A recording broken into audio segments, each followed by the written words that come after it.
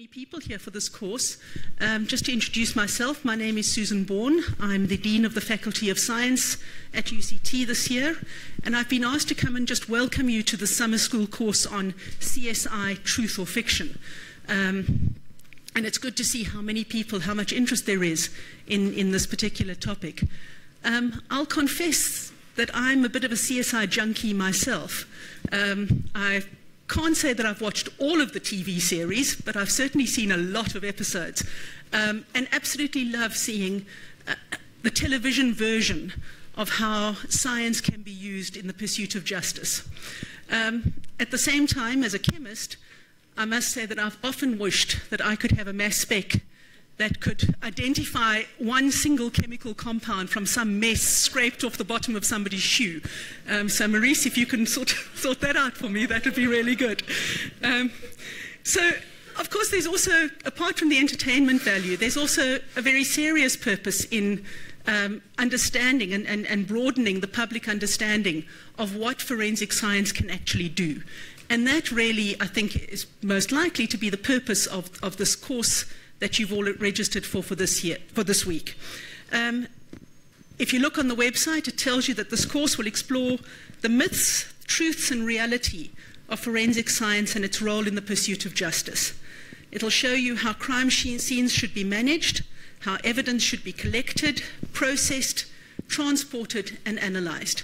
And given the situation that we face in South Africa with the crime um, levels that we have, of course, it's not just the experts that need to, to know, know, so much about forensics, but it's very helpful um, for most, as, as, many people in the public to know and, and understand what forensics can do and what the limitations perhaps might be. Um, I'm not going to take very much of your time because I know that I'm not the person you're here to listen to. But I just wanted to assure you, of course, that you're in very good hands in this course. Um, the lecturers who've been assembled are all experts in many different aspects of forensic science, everything from anatomy to crime scene analysis, hair, DNA, fingerprint analysis, and a whole lot more. And you, they'll be telling you all about that over the next five days. All of them teach in the Biomedical Forensic Science course, which is offered at the master's level in the Faculty of Health Sciences at UCT. And I'm not certain, Marise, but it's possible by the end of this week that you might have recruited a few more students, uh, which would be rather nice. Um, for this week, they are led and convened by Dr. Marise Heyns, who's standing on the, on the right hand side of, of, myself. Marise holds a PhD in zoology um, and as well as an MBA, and she's taught aspects of forensics at a, a number of different South African universities as well as universities in Ireland. Um, and I'll leave it to, to Marise to introduce both herself and the other speakers in the course um, as, as you go forward. And at this point, then, I'm just going to welcome you all once again and wish you a really good week of lots of discussions, um, lots of, of interesting debates, and I'm sure that you'll find this both illuminating, entertaining, and, and, and informative. And wish you all very well. Cheers. Thank you. Thank you, Prof. I appreciate the, the welcoming words. I normally don't need a microphone, but I've been. Maybe do it the other way around. If it doesn't fit, force it.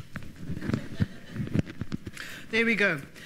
Um, yes, my name is Marise Heyns. I've had a weird and wondrous career up to date which I will tell you in little bits about it. I actually wanted to find out from you, first of all, who of you plan to attend all five days? That's lovely, because then there's a surprise for you coming later on, which I'll slip in closer to the end of it. Um, you're welcome, of course, uh, for those of you who only want to see today what things are all about, but you're welcome. I am a very interactive lecturer or presenter. So you're more than welcome to throw me with something, put your hand up preferably, but get my attention if you want to say something. Um, because you are all people with a, you're not my students who know nothing. So you are all people with a wealth of information. So I might at times get things back on track because forensic science and forensics are so interesting. We can talk for weeks. Uh, so I, there, there, would be a ultimate objective that I want to reach for the day and the other lecturers as well, presenters as well. So please bear in mind if I bring things back on track. As interesting as it is, and as much as I value everybody's input, there might be times that I would say, let's get back to what we intended. Is that fine for everybody? Okay, and please, if you do throw something at me, no sharp objects.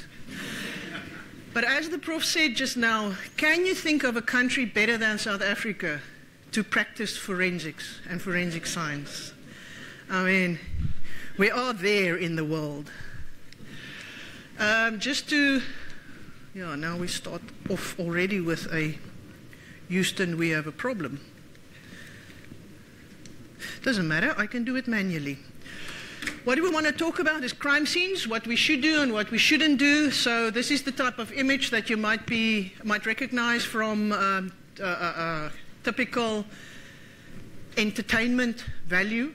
But there's quite a few things wrong with that, and quite a few things um, that make me think. It makes me question things. So we'll be working our way through this. For today, it is basically the crime scene. What should happen on a crime scene, what does happen, uh, what doesn't happen, um, and what, what, it in effect, what impact it in effect has for us. So myself, as the introduction said, I did a master's on the reproductive system of a sea slug, interesting little critters. Then I did a PhD on fetal alcohol syndrome, looking at the first three weeks of human pregnancy, where many women don't even know they're pregnant and might binge drink did my MBA at University of Stellenbosch. Yes, I'm an Afrikaner. Um, that was my alma mater all the years. So many times people phone UCT and I pick up the phone and say, Am I now at UCT? Yes, you are. Uh, I worked at University Pretoria, University of Western Cape for seven years, and then in Northern Ireland, where they've got this unique little hobby called kneecapping. So there, if society feels that you're stepping outside the bounds, they kneecap you. Nowadays, they don't shoot you. They're running out of bullets over there. They use a Black & Decker drill or a Hurley stick.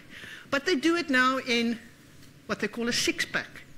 The six-pack is they go for the ankle, knees, and elbows. So six places. So then my interest really got piqued um, about forensics, and I was involved in quite a few uh, interesting uh, cases over there. Then I was recruited here at UCT to come and run the master's course, probably not on my tremendous forensic skills, but more on the fact that I've been in universities for so many years. I know how the committee system works and how to get things going. And uh, all I can say after five, six years now, this course is tremendously successful. We've gone from strength to strength. Myself, I'm carrying on with forensic science research and also in the educational side of teaching forensic science. South Africa, forensic science, we've got many challenges. It's multi leveled, it's complex, but basically, forensic science is a scientific instrument that one can use. Um, and most in the cases, it's used by law enforcement to make findings. These findings assist the court. That's the forensic bit. And that can now help to exonerate the innocent and prosecute the guilty. In South Africa, we've got lots of wonderfully skilled and knowledgeable people. People normally have a, quite a, a, vast knowledge of biomedical forensic uh, science as such, but they must now use it in forensic investigations. And we've got certain systems hampering it. We've got certain systems and practitioners working in silos. But the fact is, it doesn't matter what theoretical skills you have, you must be able to apply it in practical in the practical field. We also have to keep on with research in that, which is where the academics come in and we must apply to the South African situation. So it's fine to say when you're at a death scene and you collect little maggots running, crawling around, get it to the lab as soon as you can. If you're in Koekenaap, you're not going to get that maggot to me within a reasonable time. It will either be gasping by the time it gets you, or it will, will be dead. So can, there's no ways I can do I can incubate it and breed it and, and have it hatch and then see what type of fly it is so I can determine how long the deceased or how long since the eggs have been laid on the deceased. So what do we need to do? We need to look into that DNA of the flies. So even if it passes, I can take it and I can identify it and say it was this species. I don't need to hatch it. So it's a South African situation. So from one single program the MPhil in biomedical forensic science, we have now grown so that we've got all these courses, the full research. The biomedical forensic science MPhil is research as well as coursework. And this is now expanded to a full master's research as well is now possible in forensic genetics, medical microbiology, molecular forensics, forensic entomology, PhD in biomedical forensic science, forensic genetics, forensic medicine, forensic tox, PhD in entomology, and then soon we will have the PG DIP for those guys who want to do a degree after their basic degree. They want to do a qualification after that, but the MPhil MSc would take you two years at least. So that's something one can do in one year. Is it mine? Oh, yes, that would be wonderful. Here we go.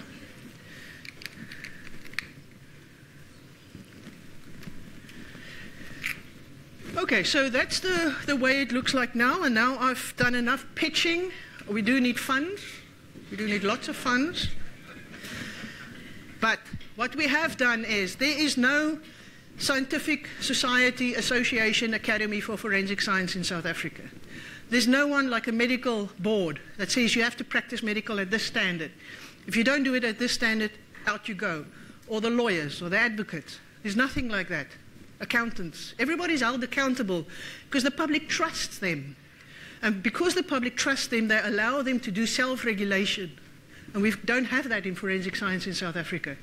So the concern is that anyone can spout whatever they want. And there's no one that can say, you don't measure up.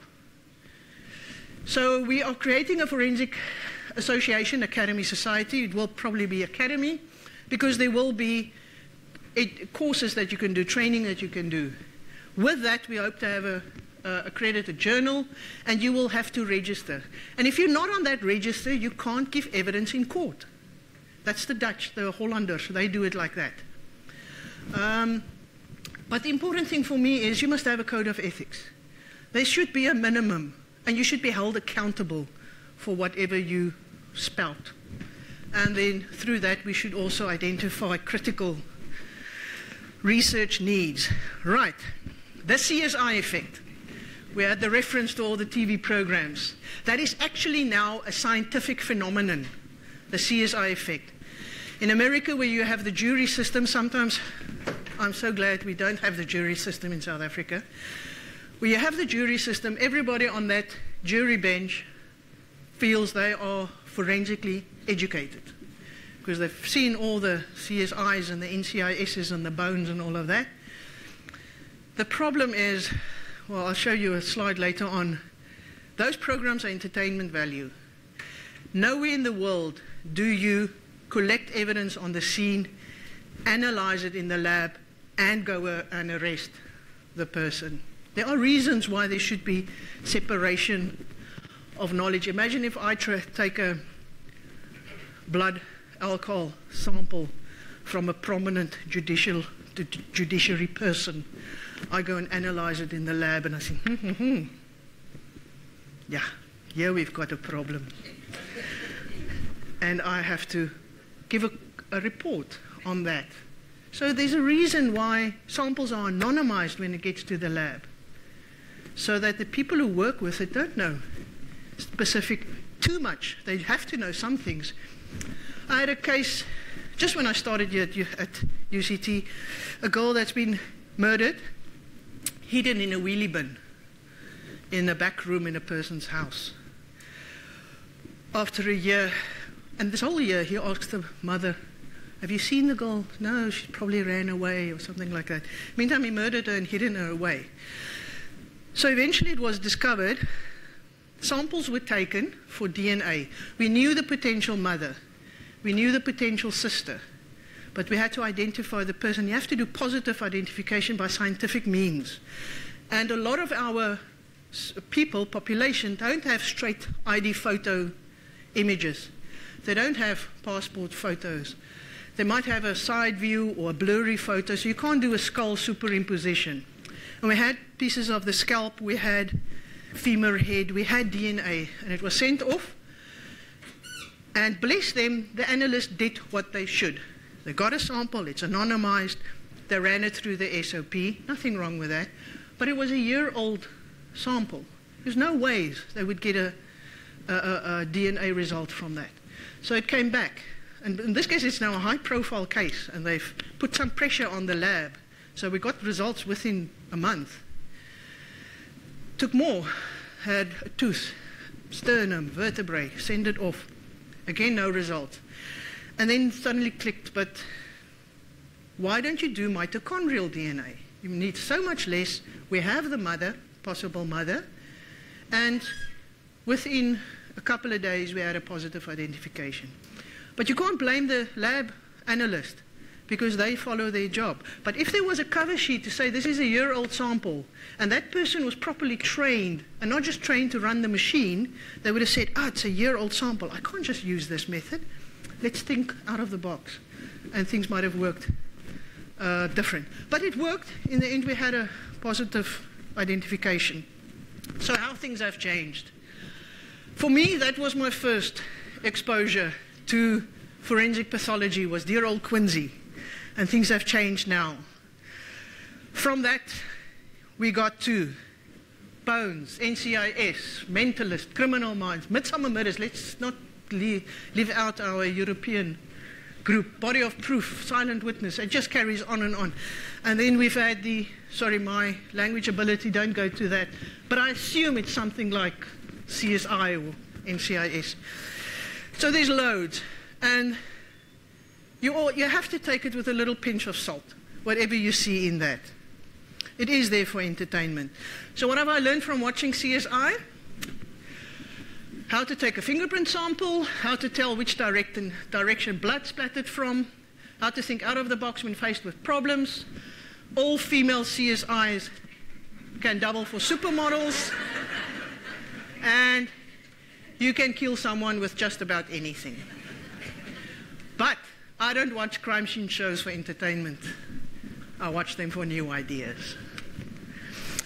Okay, so um, I personally think the best, some of the best entertainment is not in what they show in the science value, but it is what they show um, inadvertently, and when you put them all together, I'm just, I'm just hoping this link will work.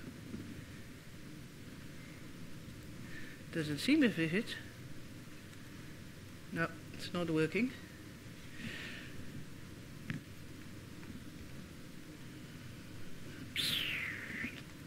Let's see if I. I'm going to go out of the show now because many ways to skin a cat, even with my technologically disadvantaged ability.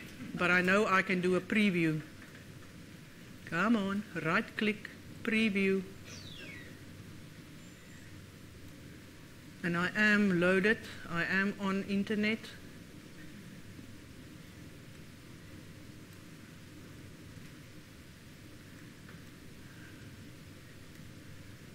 Okay, let's carry on. I will see if I can get back to that then at some point. But I do love um, that specific show with the sunglasses. I think we've got our murderer. This is now changed into murder. That, that is a confession. no,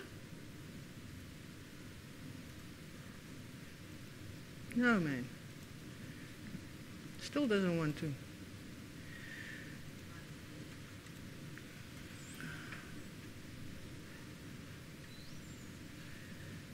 Let's see what happens now. Huh? Yeah, it's a, it's a video. Oh, it's a video Yeah, video clip. But it's fun. I, am sure that the audience is well versed in uh, David Caruso's um, handling of his sunglasses. There we go. Huh? Buffer. Oh, okay. You see there, I learned something. I'm always open to. Later on. Okay.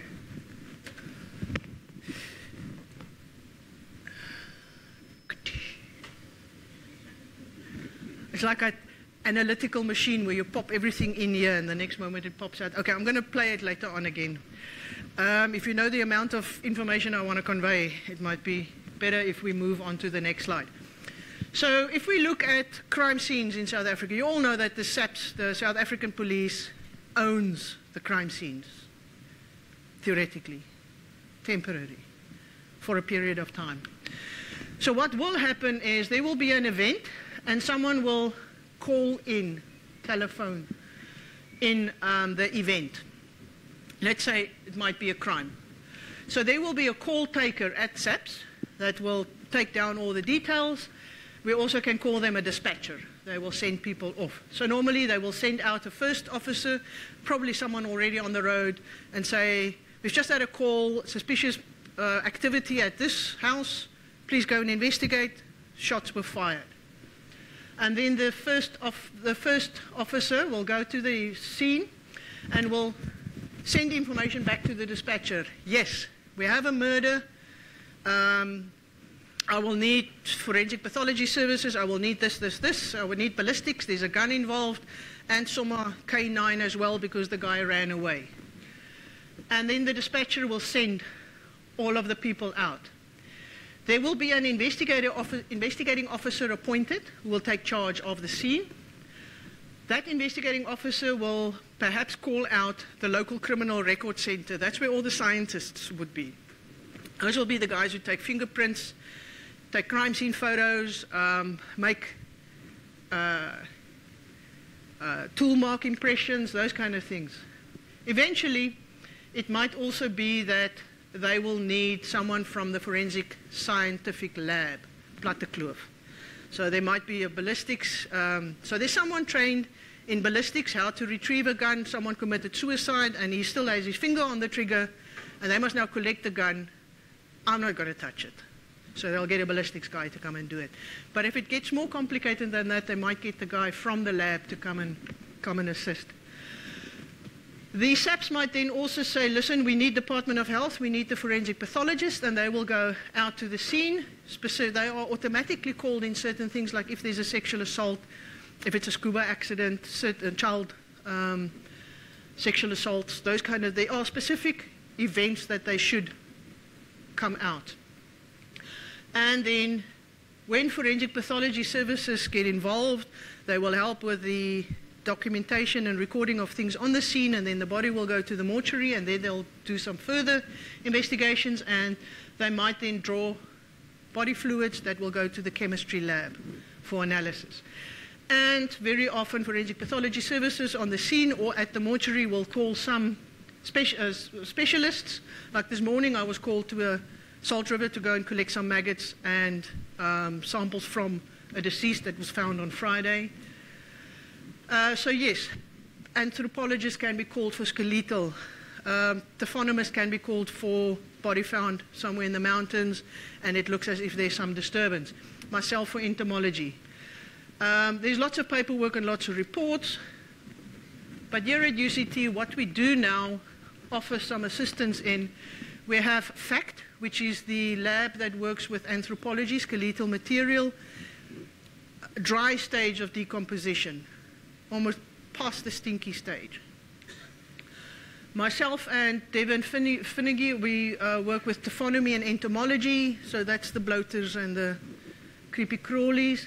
I'm starting a new unit, Aqua Force. That's to do with the triple Ds, drifting, drowning, and decomposition. Yes, ma'am. Taphonomy is all the changes around at the time of death. So let's say a body, a person falls, like someone from the United Nations had a fall on, on Table Mountain. And then around the time of death, there were certain changes. So the body might have bloated and shifted. Now, when you get there, it's not in the position you would have expected it. But there is no third party involved. It's purely the movements of the body at that point. And my drowning, drifting, and decomposition is more to do with should a person drown now? Where should we go and search?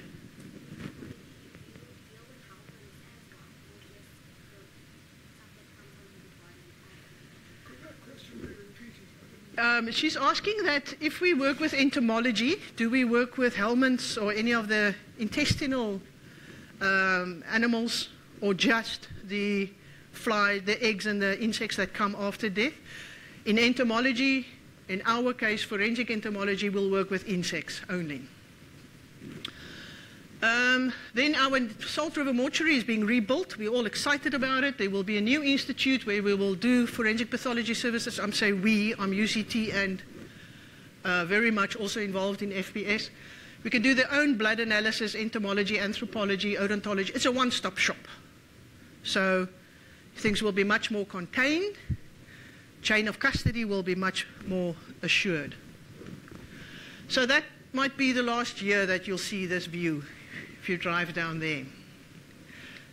Um, this will change, and we're all so excited. Okay, crime scenes, what to do. This is normally what will happen at a crime scene. You'll have your crime scene control and management. This is like the terminology used by SAPS. There's a report, there's reaction, you prioritize what should happen, you will conserve the scene, as in protect the evidence, make copious notes, search for more evidence, process the exhibits. You can also process persons, like get affidavits and statements from, from people. And you, do, you apply then investigative aid. Investigative aid will be your fingerprint expert coming to brush or your, uh, the other experts that you get. Processing of? Processing of exhibits will be how you lift a fingerprint, for example. Um, if there's a bottle that's been broken and someone has been stabbed, on that bottle you would expect some fingerprints or DNA even. So it's how you work with that exhibit and how you package it and how you send it off to the lab for further analysis. Persons would be interviews that you have with people. So SAPS then trains according to this. There's the event, you report it, you activate. That's when the dispatcher sends people off, respond. Okay, well, let's skip all the terminology and just chat about them. That first guy that gets sent out to the scene, guy or girl, sorry, man or woman, person, police person, takes control of the situation. They, first of all, the prior, prioritizing should be the injured uh, are there any people injured? And that takes first priority. Life over anything else. Then that person, in effect, takes a handover from the public. The public called, there's a problem, and they hand it over to the first person on the scene, which is the first officer. The first officer needs then to identify what happened, presumably, and establish a command center. And for a time being, that person will be the temporary command center commander. They love their little acronym, CCC. The CCC is then there to administer all resources. What do we have to our, at our, um, what can we use? What do we have on the scene? And then how to use it. That whole command center, if it's a huge thing like a mass disaster, plane that fell, or a ferry that capsized, not just slow down, or a bus in the Tuiskloof Tunnel or Koeberg, God forbid, something happens there, then it can become a joint ops center. It can be in the field, and it can even become a formal joint ops center. Documenting the initial, they have to make notes of what was said by whom um, and at what point. That first officer must verify their addresses when they get that call out. Make sure that they are at the right place. We've had numerous situations where that didn't work. They have to verify the time they arrive, make notes. They must use all their senses. Stop. Don't rush in. Look, what do you see? What don't you see? Listen, what do you hear? What don't you hear? Smell, do you smell anything? What don't you smell? Observe. Um, also look at things like is the light on? Is the window closed? Is the ice still melting in the glass? How long ago do you think there's been movement in this place? You have to reflect on this theory of transfer, low Locard principle. But as I said, first one is life over limb. If there's any, a person injured, and hopefully the investigating officer have walked in, felt for a pulse and said, okay, this person is injured, walked out and identified a route for the emergency personnel to follow that will do the least damage to the evidence. And we have interesting little um, uh, crime scene aids that looks like a, like a tray, and it's got four little legs, and you put that down and you walk on them.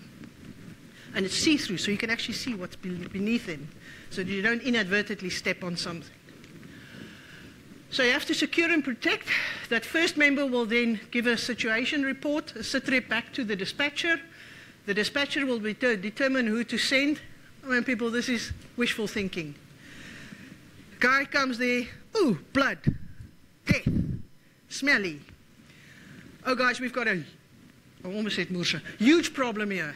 Send everybody. That dispatcher sits there, they don't know. They send K9, they send ballistics, they send forensic pathologists, they somehow call the, the Navy to come and assist as well. Anything. So the guys get there, they say it's a, it's a taxi war, and then it is a disgruntled ex wife shooting someone. So uh, by the time everybody is up in arms, they've now got to prepare. Years now Cape Flats gang warfare, taxi warfare, and then in the end it's. So unfortunately, that is idealistic to say that they should make their decisions. But the dispatcher then determines who to send, theoretically, and we call that the appropriate investigative unit. People selected because they need to be there. The first officer cordons off the crime scene, and there will be a detective from this appropriate unit who will become the crime scene manager. Sounds very nice. And that will be deemed the second handover. So the crime scene manager arrives, and the first officer hands over to that crime scene manager. The next few slides is all to do with how do you define the crime scene boundaries? Where do you tie that tape? Because obviously, you, if, if I find a body here in this room, where am I going to close off this crime scene? Okay, I'm just going to see if he's awake and not just sleeping like some of my students by the end of the day. But all exits and entry points must be covered. How do they get to this room? Is there a lift? Then the entrance to the lift must be closed off. Probably going to close off all floors and the building and the road outside. So the, the problem is if you're too conservative, the idea is to make it as big, the crime scene as big as possible because you can always bring it back in. But if you cordon it off too close and people start trampling around your scene, then you lose evidence. So, and you also think, where might, okay, this doesn't work because my lecture rooms normally have windows. So you kind of like, don't assume someone will run out the door. They might climb out a window or use a not indicated one. That big, don't assume, it's very important. So that's how you define a crime scene, set up physical barriers. I'm just going to jump here for time wise. But people can contaminate the scene. That's why you need to cordon it off. Yes, the suspect, the victim can contaminate. Yeah, I'm angry now. Someone broke into my house. I'm going to find this person. I'm going to see if he's hiding anywhere in the house. And they go stomping around the house, seeing if someone is hiding in the other rooms. Family members, friends, pets, animals, especially in the field, gnawing little marks on it. Emergency response personnel, bless them, they've got a function, but they do kind of stomp all over the place. Investigative officers, especially the ones that aren't that experienced yet. High ranking government officials. It is amazing. You have a crime scene, especially if it's like a semi high profile, they don't even know yet. Sometimes they just come to the door and look in and maybe throw their topperkie down. But they want to see what's going on. Now your investigating officer or the first officer on the scene that's putting up this cordon is a constable. And here the brigadier comes along and he now wants to look at the crime scene and this is kind of career limiting move. no, you can't come in here, but that's what they have to do. Onlookers, souvenir collectors, thieves, news media. And then, of course, the weather. Not that we've had lots of rain in the last while, but rain can kind of damage your scene. Yes?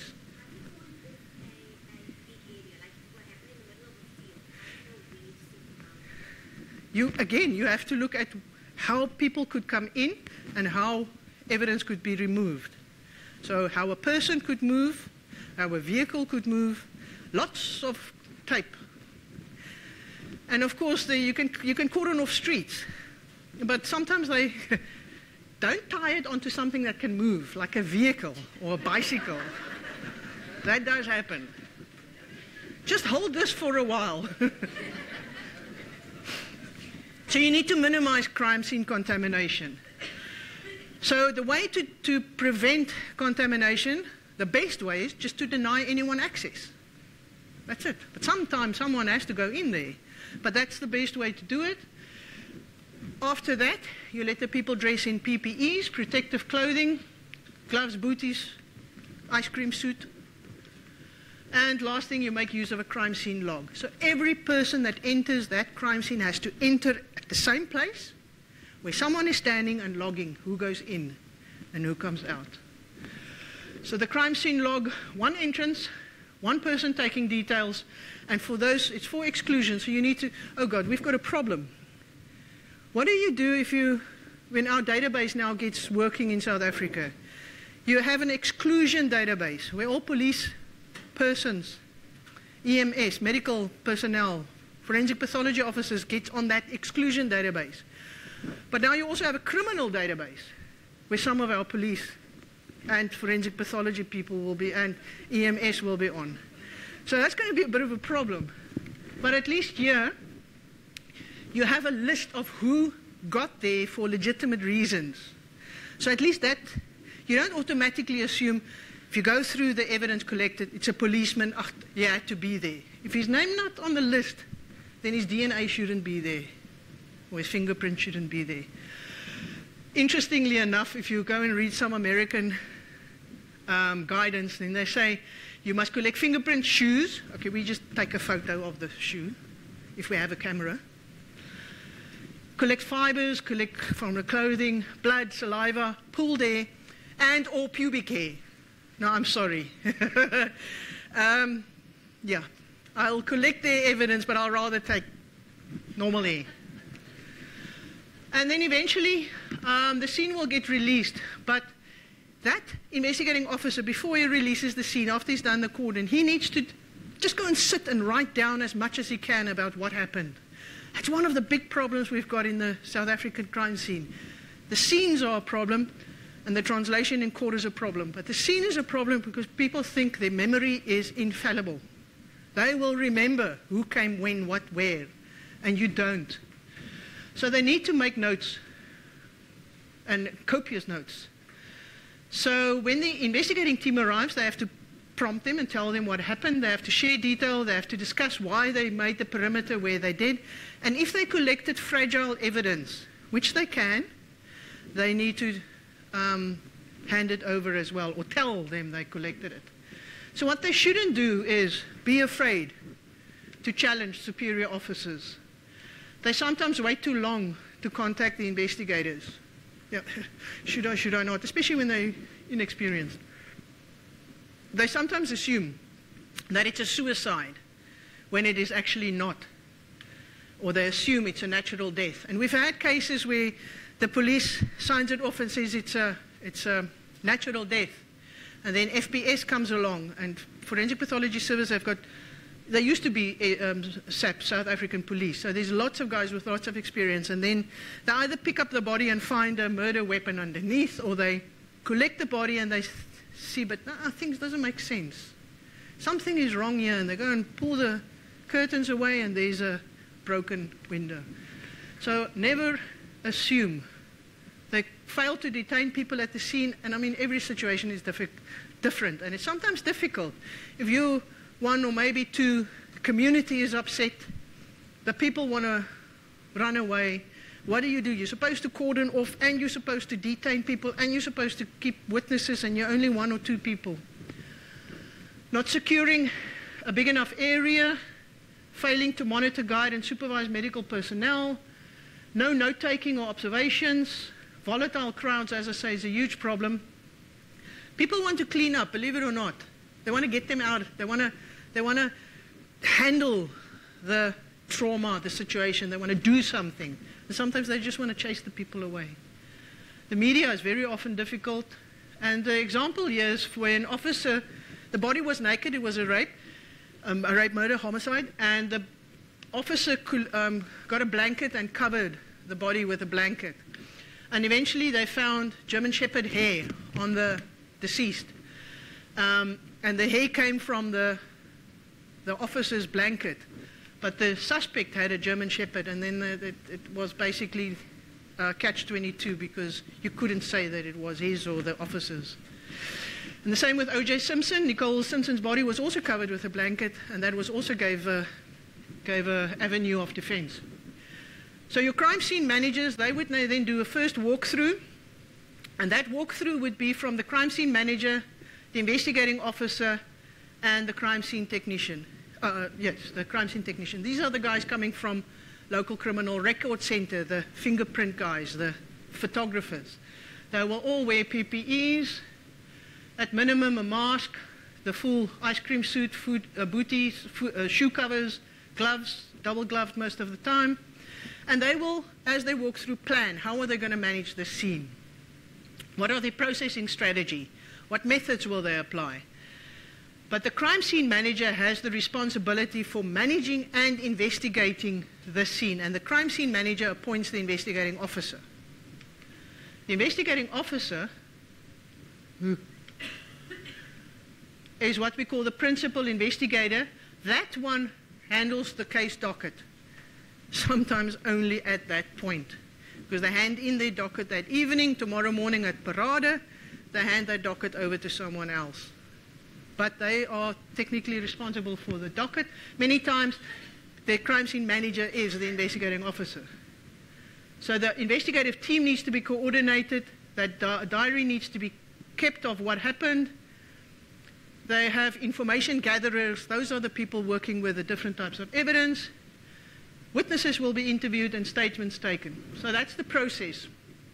Um, the crime scene manager appoints the CS technician, that's the processing expert, the guy who will lift the fingerprints, um, scrape evidence, swab blood, body fluids. And then eventually, um, more specialists can be made available from the, as I said, the scientific laboratory or forensic pathology service or the university. I'm running a little bit behind what I pro projected at this point, so I'm going to run through just finalizing what in theory should happen according to SAPS. The processing team will prepare a visual representation of what they deemed happened. And that will go for, for court. So they will locate, recover, and document physical evidence. A final walkthrough, after they've now collected what they wanted according to their strategy, a final walkthrough will happen. Yes, sir.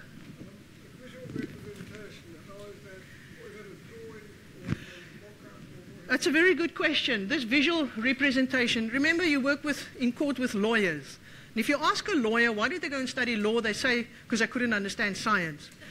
So when you get to that stage, unfortunately, you have to draw pictures. You have to have things that open and close and nice little color diagrams. So you have a, almost a carte blanche. You have crime scene um, software that you can do reconstructions, you can do animations. Unfortunately, the average investigating officer preparing their docket will have Word, maybe PowerPoint, with some standard little pictures that they can use. But it's something that you will, or even an enlargement. If you have a fingerprint and you have a, a, a, a accused fingerprint, you have a latent fingerprint from the crime scene, even if you just make a big mock-up for the judge, magistrate, so that they can see why you say it's a match. Um, then finally, you will have a final walkthrough, you'll have a debriefing by all the key players. That's the point where you should think, did I now do everything that I wanted? Most of the time, isn't it? Thank God I can get out of here. Um, you release the scene back to the public, and then after a while, there's supposed to be a critical evaluation of that specific case that they can reflect on what happened, what didn't happen. If you guys have been, I'm pretty sure, how many of you have had criminal events happening to you? Yes, you see hands. I mean, uh, or no, If I say the next sentence, everybody's hands go up. Or know someone who had it happen to, then everybody will. But if you see a crime scene that's being investigated in South Africa, you'll see the following.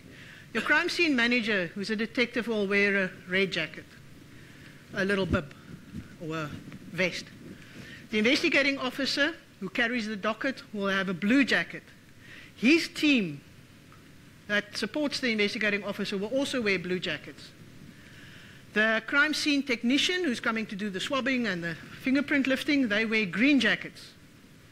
And then the crime scene processing team, the rest of these guys that help to make a sketch of the crime scene, that help to measure where the things are, they will also wear green jackets. So this is the typical software that you can use. Someone was murdered, you went and you measured the distances of things from the walls, where things were found, and then if you have the software, you and make a nice little reconstruction. But you can see there, there's a broken window, there's a broken window, there's blood, there's a glass, there's a door. So where will you cordon off? What will you do? You will cordon off even the road because one of the witnesses says the guy ran out of the door down the road. So you'll cordon off the road. But your first instinctive would be to walk straight to where the person is lying. The idea is actually to take the path least tread, is to walk around to try not to disturb any evidence that might be in the direct or the logical path.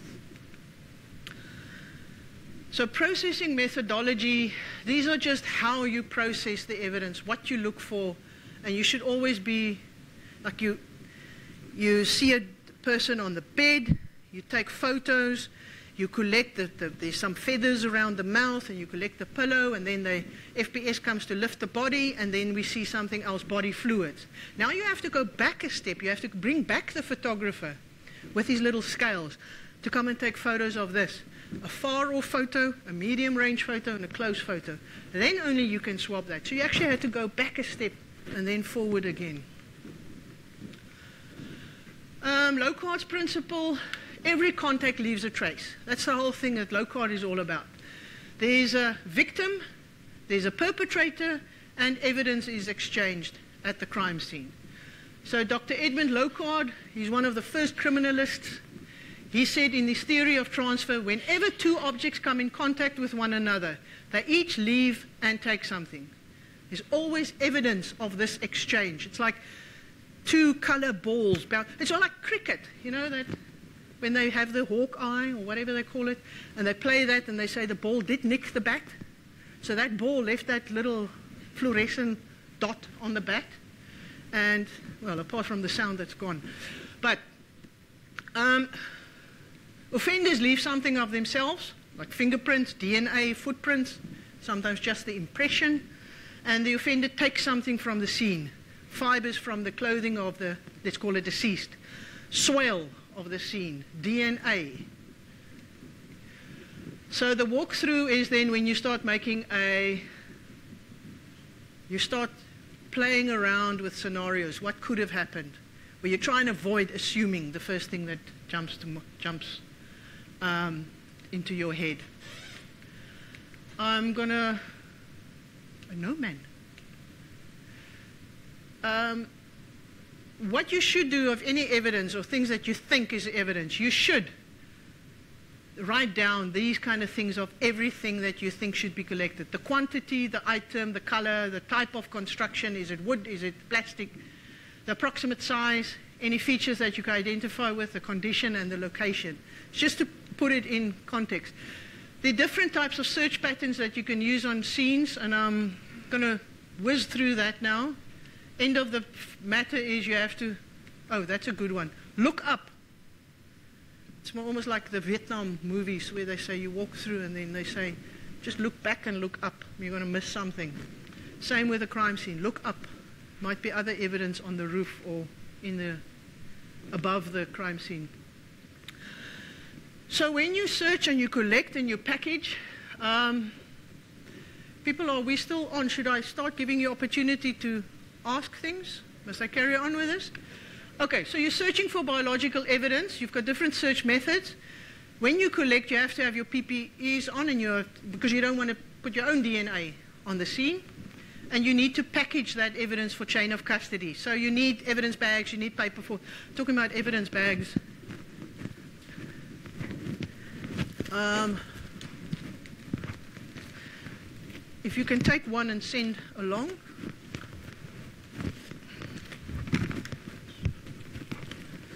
There we go. Each one must get an evidence bag.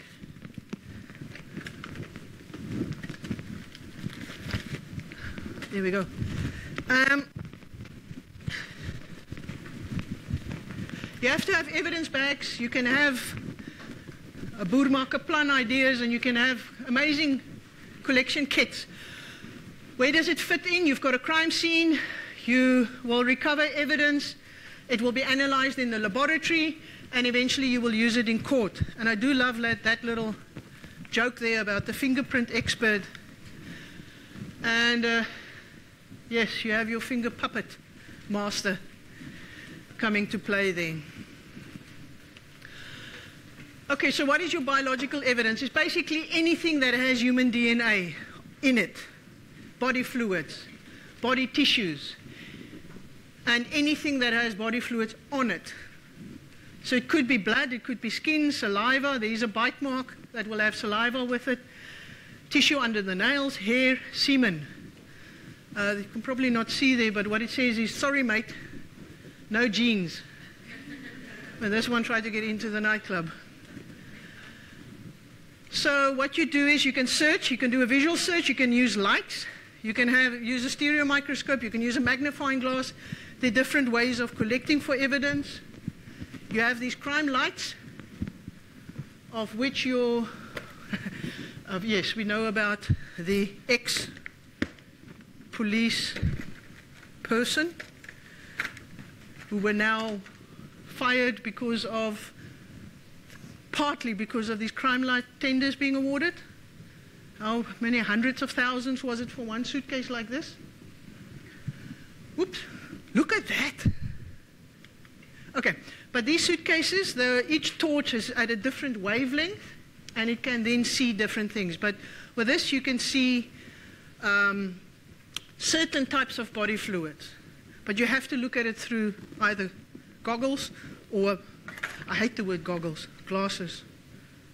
Or even just the, you just put this around the torch and then you go and look at it. Anyways, um, so there's different wavelengths, and you use a different you have, use a different kind of torch for that, and use different color glasses to look at it. But you have presumptive tests and you have confirmatory tests. Presumptive tests are the ones you do on the scene. Quick little test: is it human blood?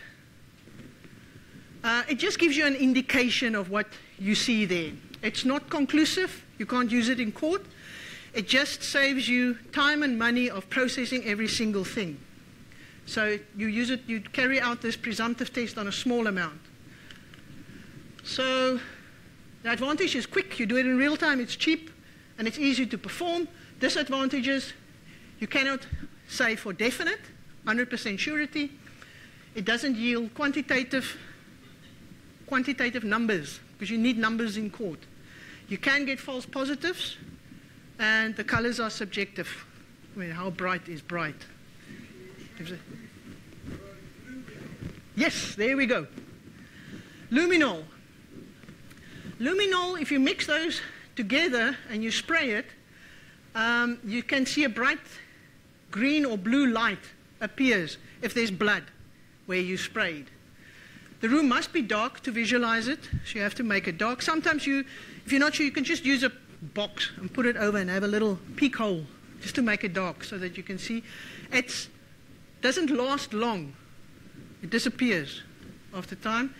And UV can be used to make it much more prominent. So if you look through the glasses, it somewhat looks like if it's all over the place. But yes, in that instance, and in that, for example, here you can see if the room is lit and the room is dark, how you can see the, the um, luminance so the reaction is short lived, and you literally have to have your camera ready, everything set up, your, um, your, your time that it's going to be open, everything ready.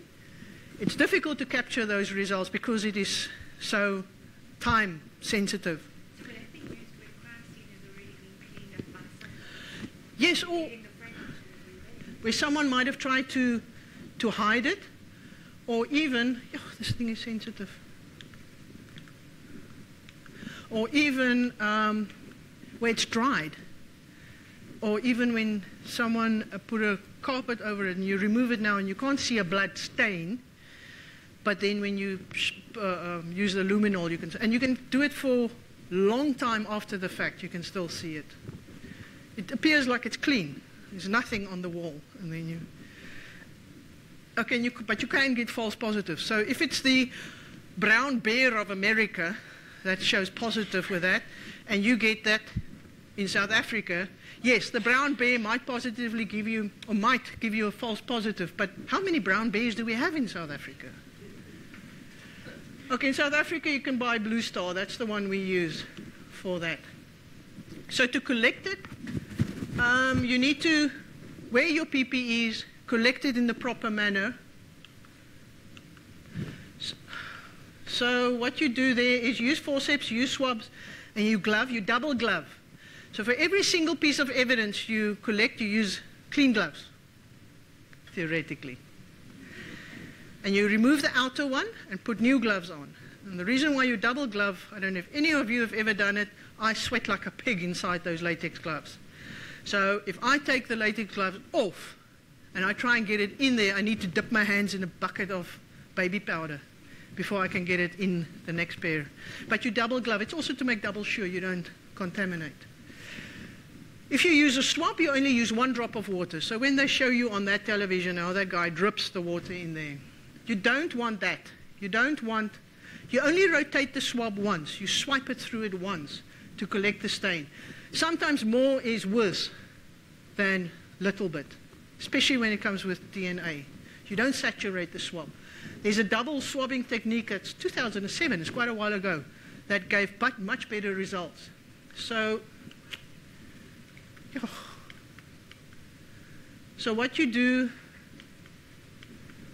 I mustn't walk away so far.